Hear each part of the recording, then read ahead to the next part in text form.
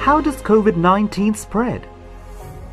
The disease can spread from person to person through small droplets from the nose or mouth of the infected person, which are spread when he coughs or sneezes. You can also catch it by touching the objects and surfaces around an infected person and then touching your eyes, nose, or mouth.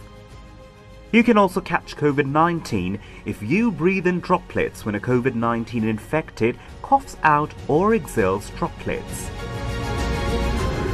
Precaution, not panic.